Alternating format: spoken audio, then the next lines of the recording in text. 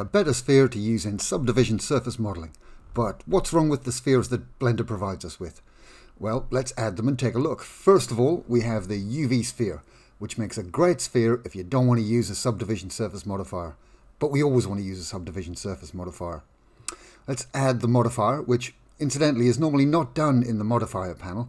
You can add one to any object in object mode by pressing Control and 1, 2, 3, 4 or 5, which either adds the modifier to the object with those levels of subdivision or it changes the subdivision level of an existing modifier if there's already a one on there.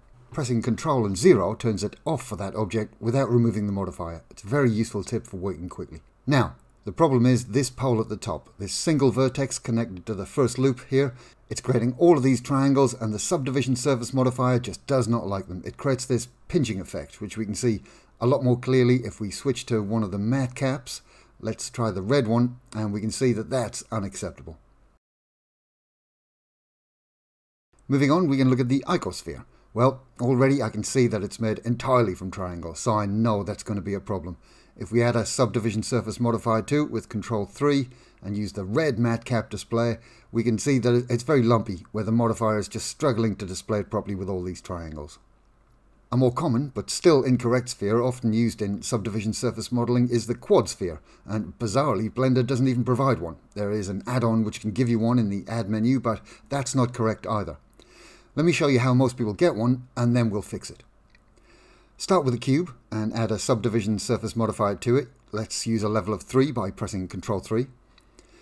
We want to apply that modifier straight away so that we have more geometry to work with, but not so much geometry that modelling becomes a problem. 3 is a good level. Now we have a few choices. We can either use the cast modifier or the to sphere operation. They both do the same thing. Uh, I'll use the to sphere operation here, and we can use the cast modifier in a later tutorial. Now in edit mode and point select mode, press Shift Alt and S while dragging the mouse as far as you can to the right. This moves the points of the mesh into their correct-ish positions on a sphere. This is where most people will stop and decide that it's a good sphere. Well, it's not. The positions of some of the vertices are not correct because no account's been given for the three-spoked poles at what used to be the corners of the cube that it came from. We need to fix this as best we can. Let's add another subdivision surface modifier now and take a look at that with the red matcap.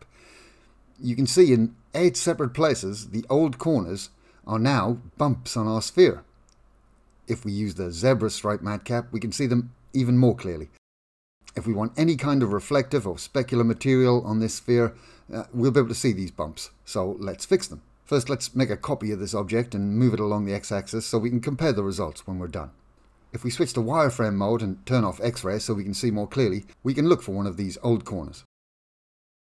Go to edit mode and select any one of the vertices with only three edges coming out of it, and we can quickly select all of the others by going to Select, Select Similar, and Amount of Connecting Edges. You can now see that these are all selected around the sphere. To fix their positions, they actually need to be pushed in towards the center of the mesh very slightly. I normally make sure that 3D cursor is selected as the transform pivot point, and I press S to scale them. Now the numbers I use are not perfect, but they make a huge difference. After pressing S, type 0.9946. We're not scaling them by much. Now, if we go back to matcap mode, we can see that the pinching effect has been reduced, but it's still not enough. It turns out that the second row of vertices is also adding some influence to the effect, and these need to be moved as well. In edit mode again, press Ctrl plus on the number pad and expand the selection out. You can now see we have these 8 islands of vertices selected, so we can scale them to a better position. This time press S and type 0.9983, an even smaller amount. Now if we go back to our matcap display, we can see that the effect has, has been all but eliminated, which will mean our sphere can have reflective materials and textures and look and work significantly more like a real sphere. We'll use this method a lot in later tutorials because the other spheres are just not good enough. Next, we'll take a look at the cylinder.